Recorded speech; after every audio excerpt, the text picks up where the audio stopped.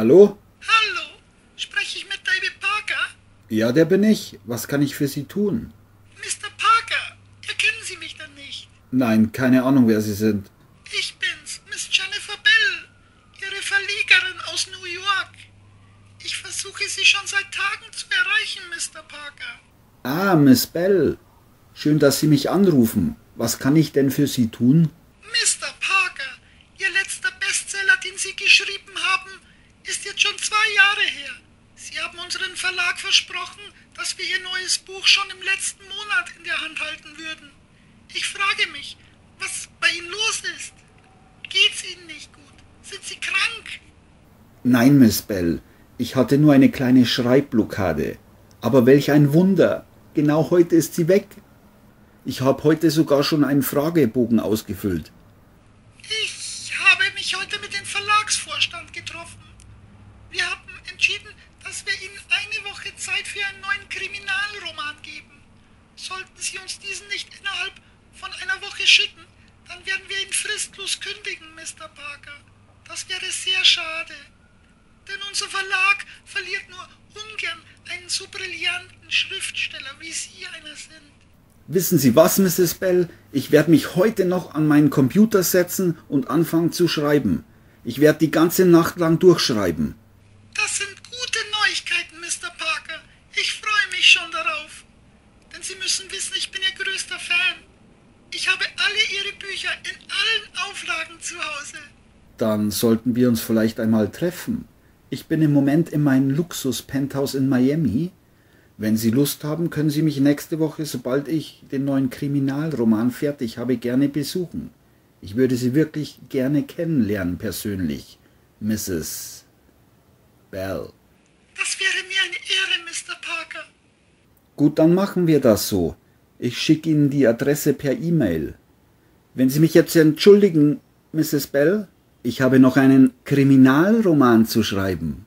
Ja, Mr. Parker, ich wünsche Ihnen noch viel Glück dabei. Und bis bald. Bye. Mrs. Bell. Norsport sehen und sterben. Kapitel 1 An einem wunderschönen Sommertag in der kleinen Küstenstadt Norsport im Bundesstaat Maine ging John Crawford durch die Straßen. Er hat einen roten Pullover mit dem Aufdruck eines grünen Elefanten an. Er trägt außerdem noch einen gelben Strohhut und eine schwarze Jeanshose mit blauen Gummistiefeln. Seine Haare hatte er sich heute Vormittag frisch kahl geschoren und sein lang Schnurrbart neu getrimmt. Norsport ist keine große Stadt. Die Einwohnerzahl der Stadt beträgt gerade einmal 1150 und einer davon war John Crawford. Früher lebte er in San Francisco. John Crawford ist 36 Jahre alt und Witwer. Seine schwangere Frau, die im neunten Monat war, sprang vor drei Jahren in San Francisco von der Golden Gate Bridge in den Tod. Es wusste keiner, warum sie das tat. Die Polizei ging von Selbstmord aus. John Crawford war am Boden zerstört und er kündigte daraufhin seinen Job als Hotdog-Verkäufer in der U-Bahn.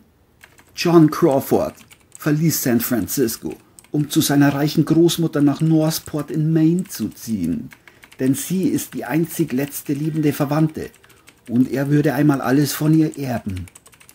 Sonst hatte er niemanden mehr. Seine Eltern lernte er nie kennen, denn er wuchs in einem Waisenhaus mit seiner fünf Jahre älteren Schwester auf. Seine Schwester starb vor zehn Jahren, mit jungen 21 Jahren, an einer Überdosis Heroin auf der Bahnhofstoilette in San Francisco Downtown. Man fand sie nackt neben der Kloschüssel und die Spritze steckte noch tief in ihrem linken Arm. Die Polizei sagte John, dass man seine Schwester noch vorher vergewaltigt haben muss. Denn das belegten eindeutig die Biss, Kratz, Speichel, Stuhl und Spermaspuren, von denen ihr ganzer Körper übersät war. Ja, John Crawford hatte schon so manchen Schicksalsschlag ertragen müssen. Die Großmutter von John Crawford, Bernadette Crawford, war sehr froh darüber, dass ihr Enkel bei ihr ist. Mit 82 Jahren ist sie nicht mehr die jüngste. Und John kümmerte sich um sie und ihr 3000 Quadratmeter großes Anwesen, das etwas außerhalb von Northport lag. Bernadette Crawford schickte ihren Enkel in die Stadt, um beim örtlichen Teppichhändler den neuesten Perserteppichimport abzuholen, den Bernadette Crawford für sage und schreibe 25.000 US-Dollar aus dem Iran importieren ließ. Am Teppichladen angekommen, öffnete John die Tür. Der Teppichverkäufer Peter Hartfield, ein 55 Jahre alter Mann, der zum Verwechseln ähnlich aussah wie Arnold Schwarzenegger, sagte: Hey Johnny, wie geht's denn so? Der Teppich deiner Oma ist heute angekommen. Ein Riesenteil. So schwer, dass ich ihn mit dem Gabelstapler reinfahren musste. John antwortete: Ey Peter, du weißt ja, meine Oma sammelt diese verdammten Teppiche. Hat um die 300 Stück zu Hause. Wenn sie mal abkratzt, dann wird das eine Heidenarbeit. Die alle wieder zu verkaufen. Wo liegt er denn? Hinten im Lager. Wie willst du ihn denn heimbringen? fragte Hartfield John. Schultern und heimtragen natürlich. Hartfield lachte. nein, nein, nein. Der ist viel zu schwer für so einen Strich in der Landschaft wie dich. Du weißt ja, dass ich früher Bodybuilder war. Und nicht mal ich konnte ihn nur leicht anheben. John schaute verwirrt umher und sagte, Ja, was machen wir dann? Hast du irgendwelche Vorschläge? Ja, habe ich. Für 300 Dollar fahre ich ihn dir mit dem Gabelstapler direkt vor die Haustür. John sah Peter Hartfield verwundert an und sagte, Was? 300 Dollar? Willst du mich jetzt komplett verarschen? Du hast noch 250 Dollar Spielschulden bei mir, du Penner. Vom Pokern letzten Monat. 50 Dollar die Fahrt und 250 deine Schulden. Am besten du bezahlst mich gleich, sonst komme ich irgendwann vorbei und muss dir vor deiner Oma die Beine brechen. John war jetzt stinksauer. Er öffnete seine Geldbörse und sagte, Hier, hast du deine 300 Dollar, du mieser Halsabschneider. Hartfield sah John grinsend an. Immer wieder eine Freude, mit dir Geschäfte zu machen, Mr. Crawford. Den Teppich werde ich dir in circa zwei Stunden liefern. Ja, mach das. Ich bin da mal weg. Peter Hartfield wollte sich noch von John verabschieden, aber John beachtete ihn gar nicht und ging zur Tür hinaus, auf die Straßen Northports. Kapitel 2 Northports Kirchenturm schlug zu Mittag. John fiel auf, dass er einen riesigen Hunger hatte, aber er durfte nichts essen, denn er war auf Diät. Er wollte von seinen 75 Kilo auf sein Idealgewicht von 70 Kilo herunterkommen, denn seine Körpergröße war nur 1,70 und 70 Kilo wäre die perfekte Korrelation zu seiner Körpergröße. Als John den Gehweg entlang ging, sah er auf der gegenüberliegenden Seite der Straße seine Ex-Freundin Alice Johnson, die gerade Einkäufe erledigte. Er hatte ein halbes Jahr eine Affäre mit ihr gehabt. Alice Johnson, eine 40 Jahre alte, sexy Frau mit langen blonden Haaren, blauen Augen und einer schlanken, makellosen Figur, die ihr enges rotes Kleid, das sie trug, perfekt betonte. Sie ist die Frau des County Sheriffs Harold Johnson, mit dem sie acht Kinder hat. John vermutete, dass mindestens ein Kind von ihm war, denn sie hatten beim Geschlechtsverkehr nie verhütet und Johns Spermien waren überdurchschnittlich fruchtbar. Das bestätigte ihn sein Urologe in San Francisco, Dr. Herbert Pickle. John wollte sich gerade umdrehen und zurückgehen, damit sie ihn nicht sah denn er hatte keine Lust mit ihr zu reden. Da hörte er John, John, Johnny, so warte doch. Sie hatte ihn erkannt und kam über die Straße zu ihm rüber. John winkte und sagte Hi, Alice. Gut siehst du aus. Wie geht's dir denn so? Blenden. Hab letztes Monat ein neues Baby bekommen. Die kleine Stephanie. Herzlichen Glückwunsch, Alice. Ich freue mich für dich. Ich hoffe, du bist glücklich, sagte John. Überglücklich, Johnny. Aber ich wäre noch viel glücklicher, wenn wir uns wieder einmal treffen würden.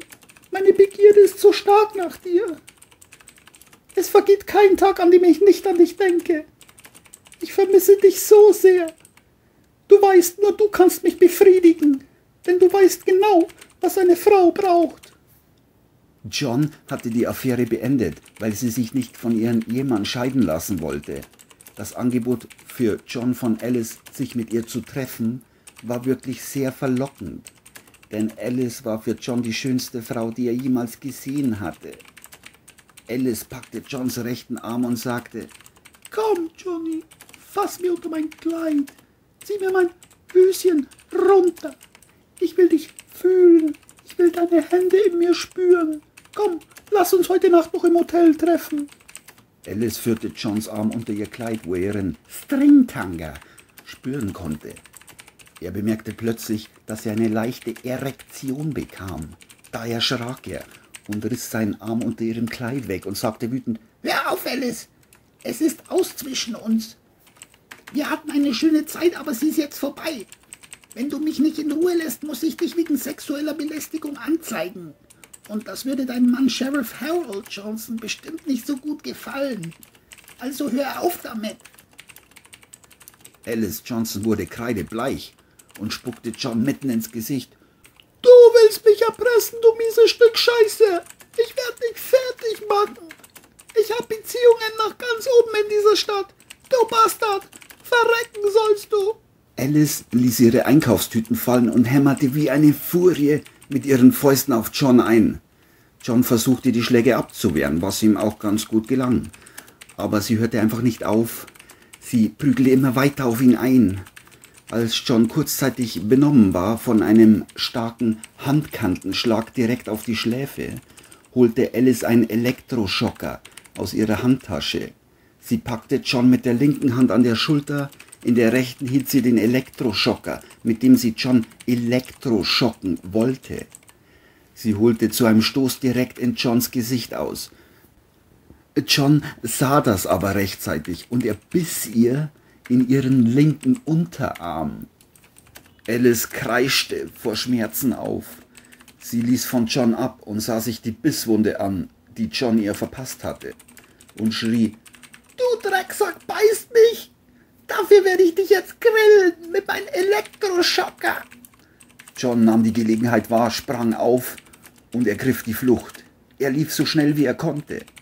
Als er sich kurz umdrehte, sah er, wie Alice ihn verfolgte und sie ihm hinterher rief, Dich krieg ich schon, du Schwein! Sie war ihm dicht auf den Fersen. John sah eine dunkle Seitengasse, in die er hineinlief. Es standen drei große Müllcontainer da. John versteckte sich hinter einem von ihnen. Er war außer Puste. Er konnte nicht mehr. Außerdem hatte er Todesangst vor Alice. John kauerte sich hinter dem Müllcontainer zusammen und war ganz leise. Jetzt hörte er, wie Alice in die Gasse kam. Er hörte die langsamen Schritte ihrer High Heels. Dabei sagte sie immer wieder mit einer ruhigen, aber sehr beängstigenden Stimme, Wo bist du? Komm jetzt raus. Ich werde dich sowieso finden. Ich weiß, dass du hier bist. Ich will nur mit dir reden. Komm raus, du Drecksau! John musste sie aufhalten. Wenn er es nicht tat, würde diese Frau ihn heute noch ermorden. Alice Johnson war schon immer etwas psychotisch, aber so schlimm hatte John sie noch nicht erlebt. Er wusste aber, dass sie in jungen Jahren mehrere Jahre in einer psychiatrischen Heilanstalt eingesperrt war weil sie ihrer besten Freundin mit einem Küchenmesser vier Finger abgeschnitten hatte. Sie wurde aber nach fünf Jahren als geheilt entlassen. Jetzt bekam John ihr wahres Gesicht zu sehen. Mit ihr war nicht zu spaßen und John musste sie stoppen. Hinter dem Müllcontainer, wo John sich versteckte, lag ein altes rostiges Eisenrohr. Er nahm es und wartete, bis Alice in der Nähe des Müllcontainers war. Als er hörte, dass sie direkt vor ihm stand, sprang er hinter dem Müllcontainer hervor und schlug Alice mit voller Wucht die rostige Eisenstange direkt auf ihren Kopf. Er hörte, wie Alice Kopf brach. Es war ein Knacken, wie wenn jemand einen dicken Ast zerbrach. Sie sank auf den Boden, auf die Knie. Das Blut lief ihr vom Kopf ins Gesicht. John musste es beenden. Sie sollte nicht leiden. Er trat ihr mit aller Kraft gegen die Brüste und sie fiel mit dem Rücken zu Boden. Sie wimmerte und flehte John an. Bitte, töte mich nicht, Johnny. John holte noch einmal aus. Er schlug ihr mit dem Rohr noch viermal so heftig ins Gesicht, dass von ihr nichts mehr zu erkennen war. Er setzte sich weinend vor Alice hin. Er hatte sie einmal geliebt. Nach zehn Minuten wurde ihm aber klar, was er getan hatte. Er hatte die Frau des County Sheriffs Harold Johnson getötet.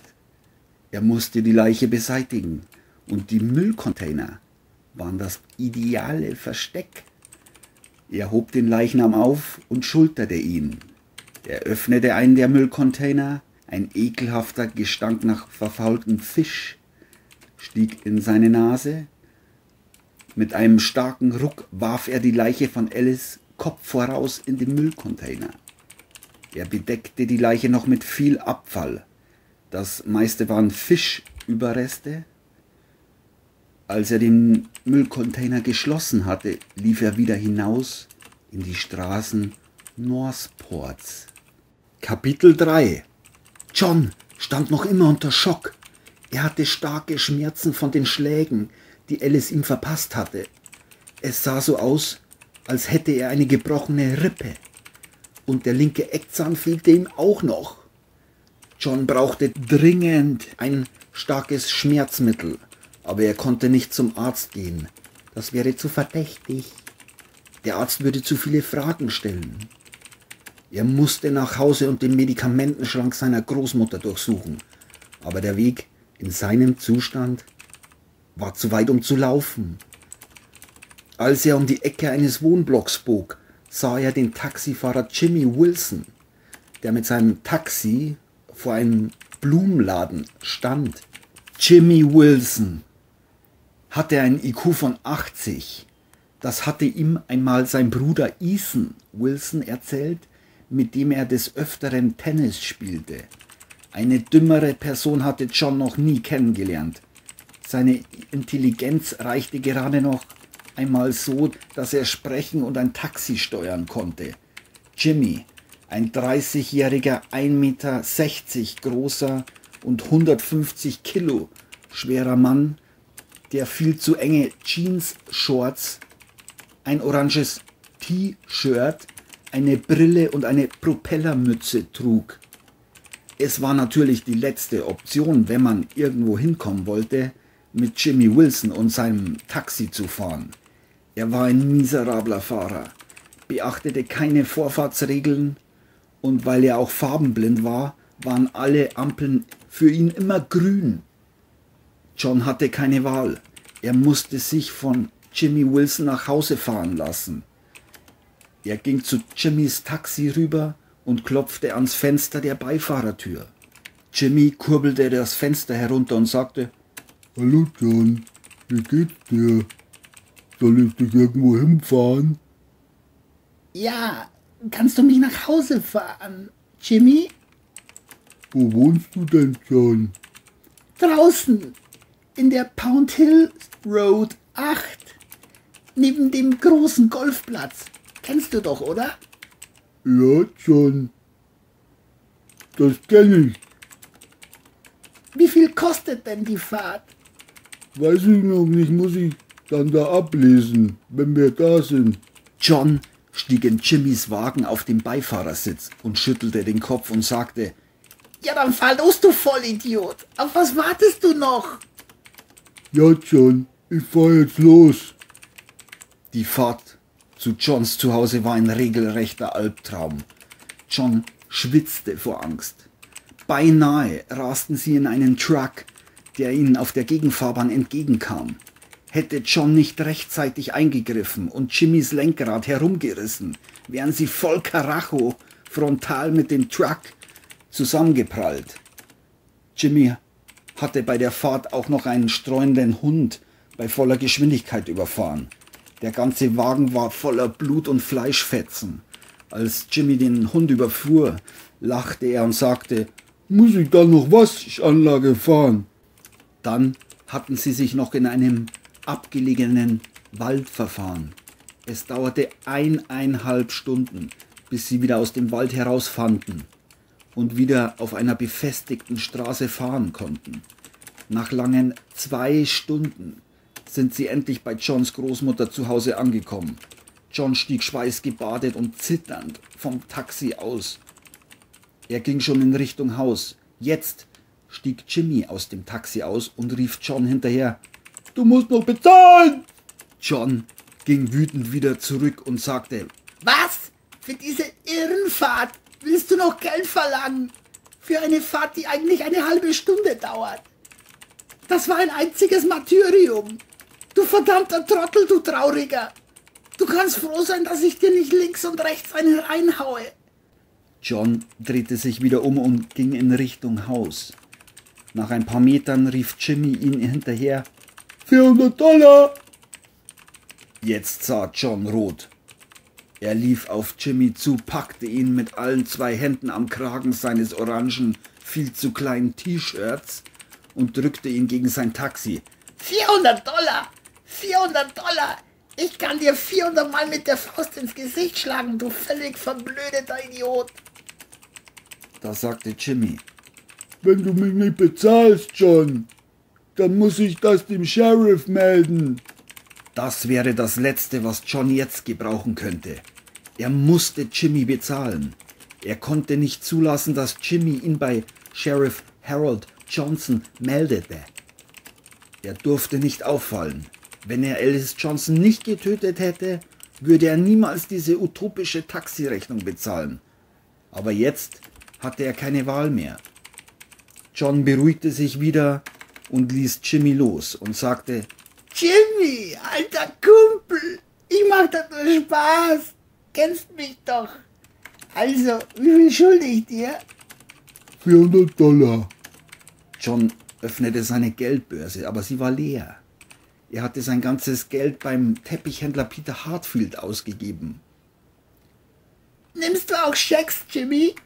fragte John. Jimmy antwortete, ja, Schecks nehme ich auch. John zückte sein Scheckheft und stellte Jimmy einen Scheck von 400 Dollar aus. Die beiden verabschiedeten sich noch voneinander. Jimmy stieg in sein Taxi und raste davon.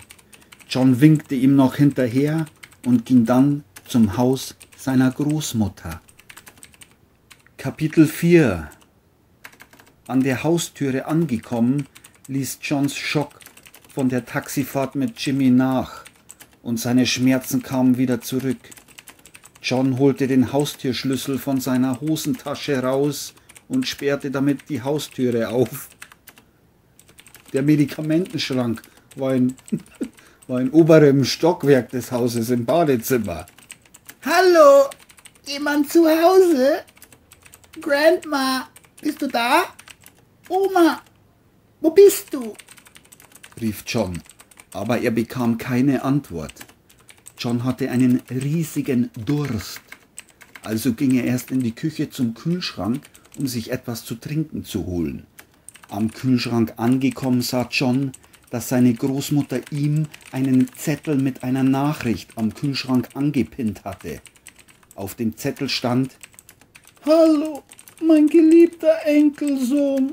Ich hoffe, dass du das mit dem Teppich heute erledigt hast, das ich dir aufgetragen habe. Du weißt, dass dieser Teppich sehr wichtig für mich ist. Deine Oma hat heute einen Termin bei Dr. Abraham Bennington in Waterville zu einer Darmspiegelung. Ich werde heute erst spät abends nach Hause kommen. Wenn du Hunger hast, im Kühlschrank steht noch ein Nudelauflauf. Den kannst du dir in der Mikrowelle warm machen. Ich möchte dich außerdem noch daran erinnern, dass du heute noch den Rasen mit dem Rasenmäher mähen musst, weil unser Gärtner Frank East an Hepatitis B erkrankt ist. Er wird so schnell nicht wiederkommen, wenn überhaupt. Und das Geschirr in der Küche musst du heute noch abwaschen. Aber mach das bitte mit der Hand, denn du weißt ja, dass unsere Geschirrspülmaschine schon seit einem Monat defekt ist.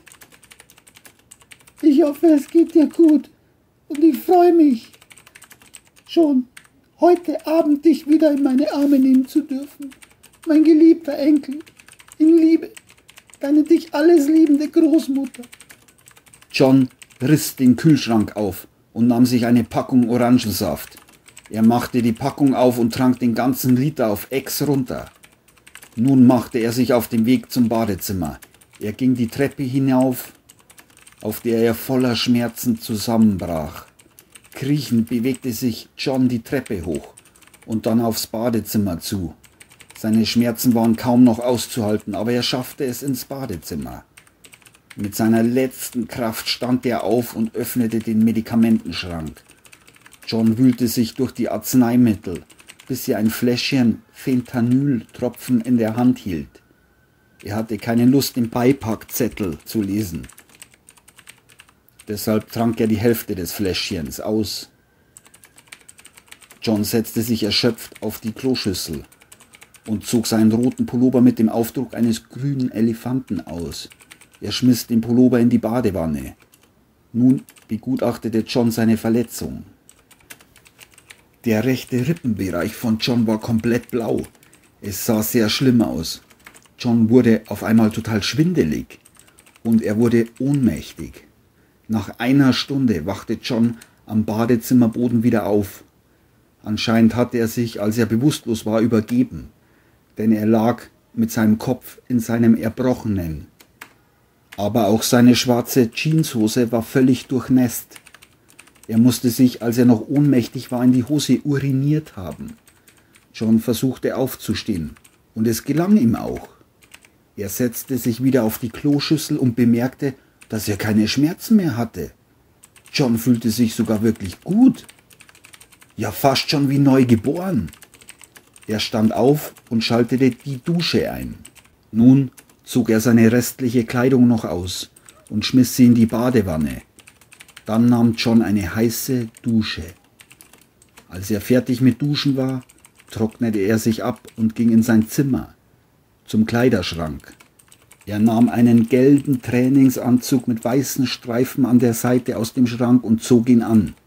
Unterhosen trug John nie, aber weiße Socken, die er sich auch noch anzog. Dann schlüpfte er noch in seine Hausschuhe hinein und ging runter ins Wohnzimmer. John legte sich auf die Couch und schaltete den Fernseher ein. Kapitel 5 Tiefenentspannt lag John nun auf der Couch im Wohnzimmer. Er seppte durch die TV-Programme und blieb bei einer Dokumentation über Hirsche, die sich paaren hängen. Plötzlich rumorte es in seinen Magen. Es war jetzt Zeit für einen Toilettenbesuch. Er stand von der Couch auf und schaltete den Fernseher aus. Auf dem Klo im unteren Bereich des Hauses angekommen, zog John seine gelbe Trainingshose mit weißen Streifen an der Seite runter und klappte den Klodeckel hoch.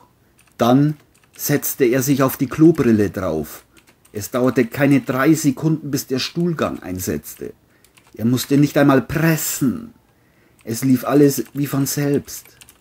Als er zwischen seinen Beinen hinuntersah und den Kot betrachtete, fiel ihm auf, dass er Blut im Stuhl hat. John hatte sein Geschäft jetzt erfolgreich beendet und wischte sich sein After mit Toilettenpapier blitzeblank er zog seine gelbe Trainingshose mit weißen Streifen an der Seite wieder hoch und ging zum Waschbecken. Als er am Waschbecken stand, nahm er noch einen kleinen Schluck von seinen Fentanyltropfen, die er in der Hosentasche hatte, und ging dann zur Tür hinaus und wieder ins Wohnzimmer. Da klingelte es an der Haustür. John ging zur Haustür und schaute durch den Türspion nach draußen.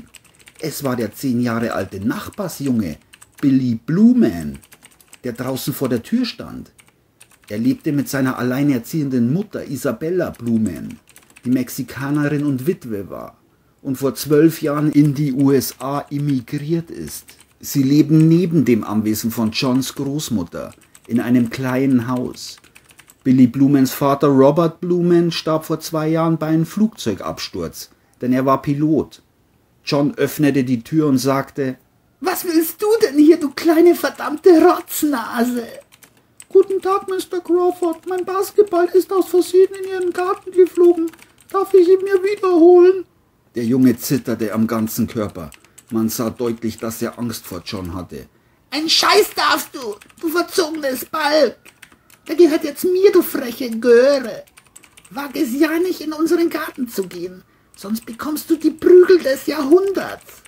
Ich sag's dir, wenn ich sehe, dass der Basketball nicht mehr da liegt, dann komm ich rüber zu dir. Ich weiß, wo du wohnst. John gab Billy Blumen eine kräftige Ohrfeige. Der Junge fing jetzt an zu weinen. Die Tränen liefen ihm über sein Gesicht. Da sagte John, Heul doch!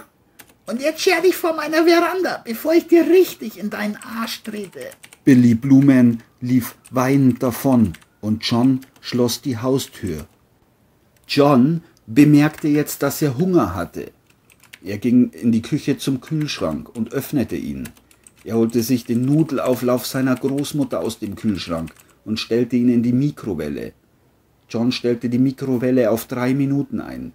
Während er auf seinen Nudelauflauf wartete, sah John aus dem Küchenfenster in den Garten, wo er Billy Blumans Basketball auf dem Rasen liegen sah. Der Nudelauflauf war jetzt fertig und John nahm ihn aus der Mikrowelle heraus. Er holte sich noch eine Flasche Bier aus dem Kühlschrank und ging mit dem Nudelauflauf und der Flasche Bier in das Esszimmer. Im Esszimmer angekommen, setzte sich John auf einen Stuhl beim Esszimmertisch und stellte seine Flasche Bier und den Nudelauflauf hin. Dann begann er zu essen und zu trinken. Es schmeckte ihm vorzüglich. Seine Grandma machte den besten Nudelauflauf auf der ganzen Welt, dachte sich John. Er trank noch seine Bierflasche leer und warf sie in die Ecke des Esszimmers. Jetzt holte sich John noch das Fläschchen Fentanyl aus der Hosentasche und gönnte sich noch einen kleinen Schluck für den Abgang. Er legte seine Beine auf den Esszimmertisch und sank in den Esszimmertischstuhl und schlief ein. Er träumte von seinem früheren Leben, als er noch glücklich mit seiner Ehefrau in San Francisco gelebt hatte. Da klingelte es schon wieder an der Haustür. John erschrak so, dass er vom Esszimmertischstuhl fiel. Wer könnte das wohl sein, dachte sich John. Er ging zur Haustür und sah durch den Türspion nach draußen. Vor der Tür standen Händchen haltend die Nachbarin Isabella Blumen mit ihrem Sohn Billy Blumen. Er machte die Haustür auf und sagte, Ah, Mrs. Blumen, welch eine Freude, dass Sie mich besuchen kommen. Ich grüße Sie. Isabella Blumen sagte wütend, Sparen Sie sich das, Mr. Crawford. Sie haben meinen Sohn geschlagen. Was fällt Ihnen eigentlich ein? John Crawford antwortete darauf, Ich hab Billy doch nicht geschlagen, Mrs. Blumen. John sah Billy an und sagte, Billy, ich hab dich doch nicht geschlagen. Was erzählst du denn da, Junge? Das will ich jetzt wissen. Also, Billy, dann erzähl mal. Was hat Onkel John denn angeblich gemacht? John starrte Billy an, aber Billy schaute vor Angst nur auf den Boden und traute sich nicht John anzusehen. Er sagte kein Wort. Da sehen Sie's, Mrs. Blumen. Ihr Sohn hat Ihnen wahrscheinlich einen Streich gespielt. Tja, Kinder halt. Die haben so eine lebhafte Fantasie. Mrs. Blumen sagte, Ich glaube Ihnen kein Wort, Mr. Crawford. Und was ist mit dem Basketball, den Sie Billy nicht mehr zurückgeben wollten? John sagte, Den Basketball kann er doch jederzeit holen, Mrs. Blumen. Er braucht doch keine Erlaubnis von mir. Wir pflegen doch so ein gutes, nachbarschaftliches Verhältnis. Was sollte ich mit einem Basketball anfangen? Ich habe früher Eishockey gespielt. Mrs. Blumen schüttelte den Kopf und sagte, ich werde Sie bei Sheriff Harold Johnson anzeigen, Mr. Crawford. Was Sie da gemacht haben, geht so einfach nicht. Sie wollte ihm beim Sheriff anzeigen. John konnte das auf keinen Fall zulassen und sagte, Mrs. Blumen, kommen Sie doch herein und lassen Sie uns noch einmal in Ruhe darüber reden. Ich bin mir sicher, wenn Sie mir eine Chance geben, dass sich alles aufklären lässt. Gut, Mr. Crawford. Ich will Ihnen diese Chance, sich zu erklären, geben. Sie haben zehn Minuten. John nickte und sagte, Danke, Mrs. Blumen. Bitte, bitte, kommen Sie herein. Als Mrs. Blumen ins Haus hineingehen wollte, ließ Billy die Hand seiner Mutter los und sagte, Ich will da nicht rein, Mama. Sei nicht albern, Billy. Du brauchst keine Angst haben. Deine Mama beschützt dich. Komm jetzt. Sie nahm wieder die Hand ihres Sohnes und sie betraten das Haus.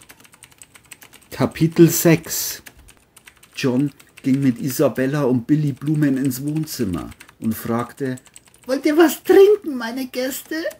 Isabella Blumen sagte, Ja, bitte, einen Kaffee mit einem Schuss Milch. Keinen Zucker, bitte, Mr. Crawford. Bitte, nennen Sie mich doch John. Sehr gerne, John. Aber dann nennen Sie mich bitte Isabella. Das wäre mir eine außerordentliche Freude, Isabella. Billy, willst du auch was trinken? fragte seine Mutter, aber Billy schüttelte den Kopf. Hat wohl keinen Durst, der kleine Racker. Bitte setzt euch auf die Couch und macht es euch gemütlich. Fühlt euch wie zu Hause. Ich gehe kurz in die Küche und mach dir, Isabella, deinen leckeren Kaffee. Bin gleich wieder da. John verschwand in die Küche. Isabella war überwältigt, in was für einem riesengroßen Haus John wohnte. Er und seine Großmutter mussten steinreich sein. Und eigentlich sah er auch noch gut aus. Und ein wahrer Gentleman war er auch noch. Vielleicht sollte sie sich einmal mit ihm zu einem Date verabreden. Sie brauchte unbedingt wieder einen Mann und Billy einen Vater.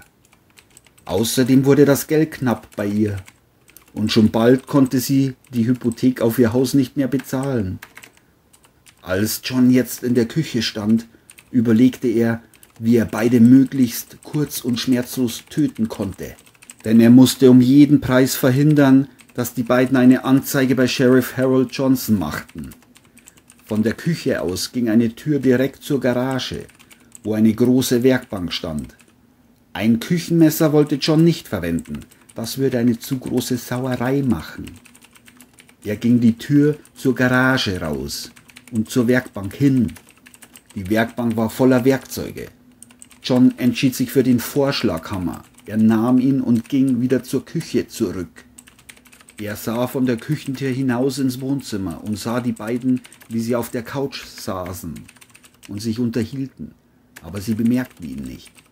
John schlich sich jetzt mit dem Vorschlaghammer auf Zehenspitzen von der Küche hinaus zum Wohnzimmer. Er ging leise hinter die Couch, auf der die beiden saßen.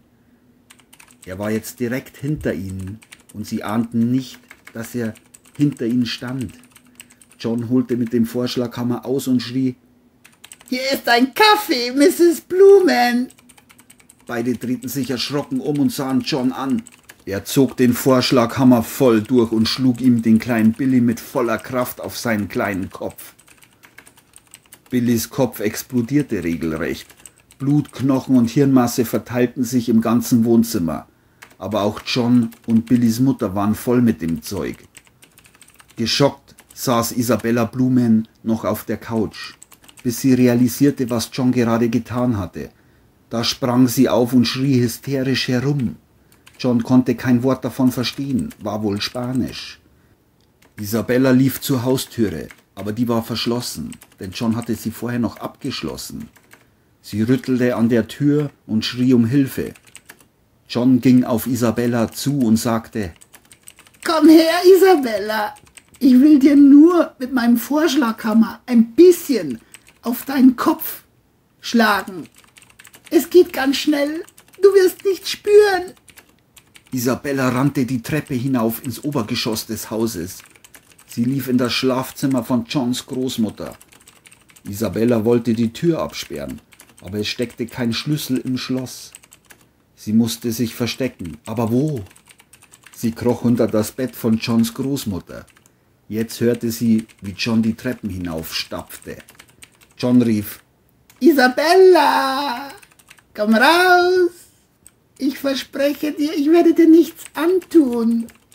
Ich will doch nur mit dir reden. Jetzt betrat John das Schlafzimmer seiner Oma und er ging direkt vor das Bett. Isabella war ganz leise und hielt die Luft an. Sie sah seine Hausschuhe, die bedeckt mit Knochensplitter und Hirnmasse ihres Sohnes waren. Plötzlich kam die Hand von John unter das Bett. Er zog sie an den Haaren unter dem Bett heraus. Er hatte ihr Parfüm gerochen und somit wusste er, dass sie unterm Bett lag. Isabella schrie um Hilfe. John verpasste ihr einen Faustschlag und sie fiel mit dem Rücken auf das Bett seiner Grandma. Isabella flehte um ihr Leben. John legte den Vorschlaghammer auf den Boden und ging zu einer Kommode. Isabella lag noch immer benommen auf dem Bett und war starr vor Angst. John öffnete die Kommode und nahm sich Omas Strumpfhose heraus.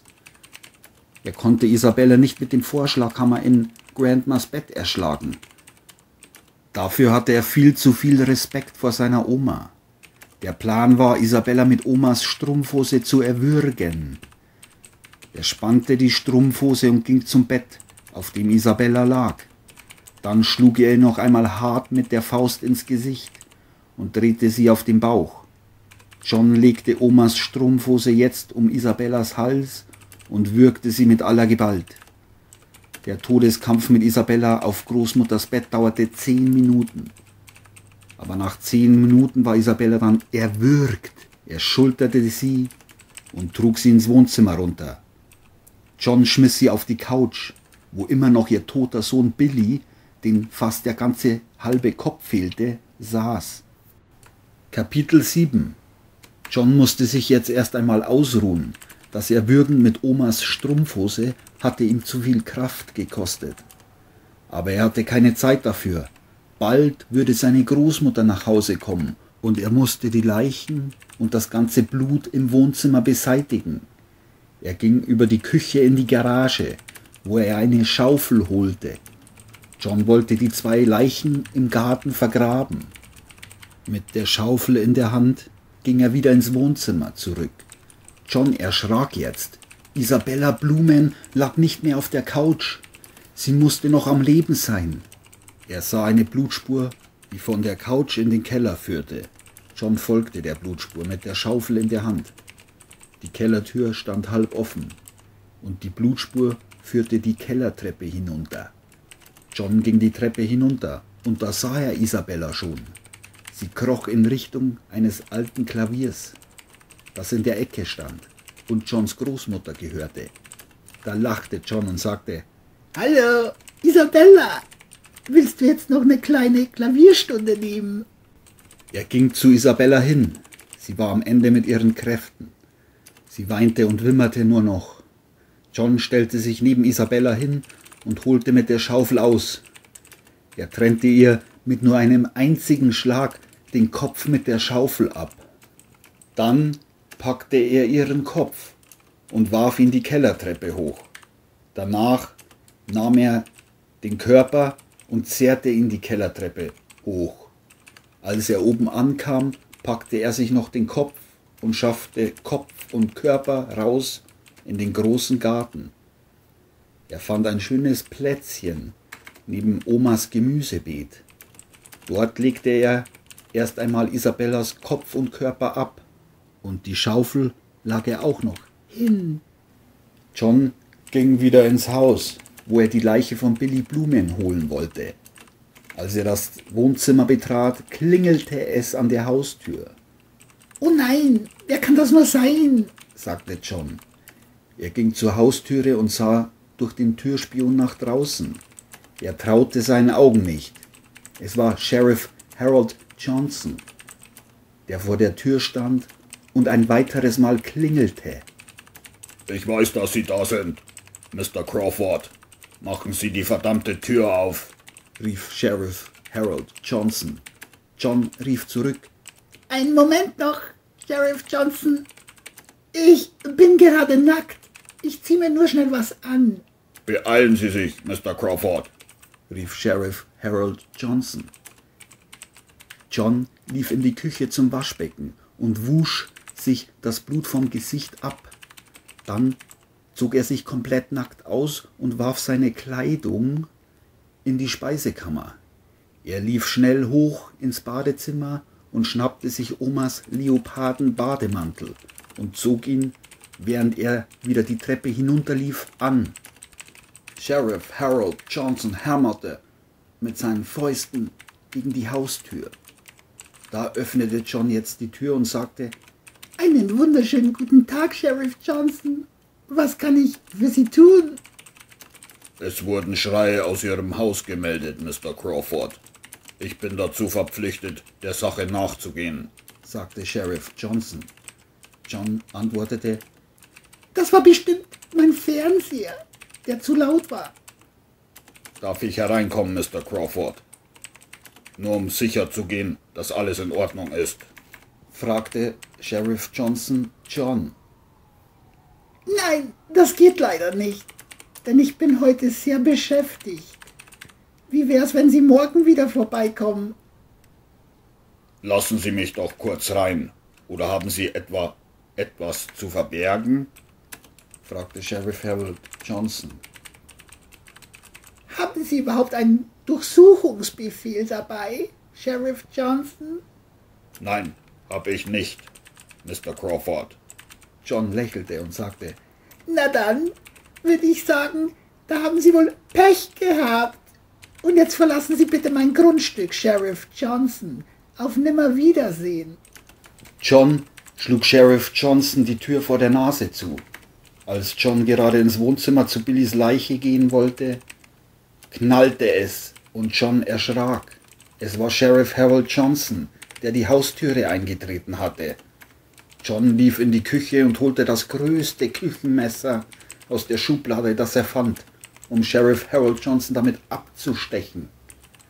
Als er sich umdrehte, stand Sheriff Johnson schon in der Küche. Mit gezogener Waffe sagte er, Legen Sie das Messer weg, Mr. Crawford, sonst muss ich Sie erschießen. Also legen Sie es weg. Was haben Sie den kleinen Billy nur angetan, Sie Schwein? Als Sheriff Harold Johnson die Tür eintrat und ins Haus ging, sah er im Wohnzimmer die kleine Leiche des kleinen Billy Blumen. John sagte, Sheriff Johnson, es war eindeutig Notwehr. Der Junge hatte mich angegriffen. Sie sind verhaftet.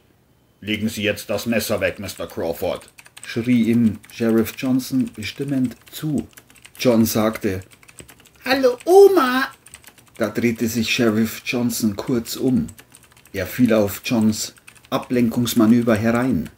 John nahm die Gelegenheit wahr und stürmte mit dem Küchenmesser auf Sheriff Johnson zu und rammte ihn das Küchenmesser in den Bauch. Sheriff Johnson aber feuerte sein ganzes Magazin seiner Pistole auf John.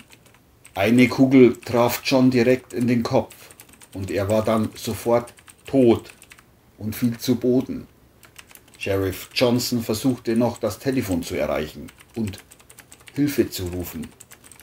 Aber als er am Telefon gerade den Hörer abnehmen wollte, brach er bewusstlos zusammen und verblutete.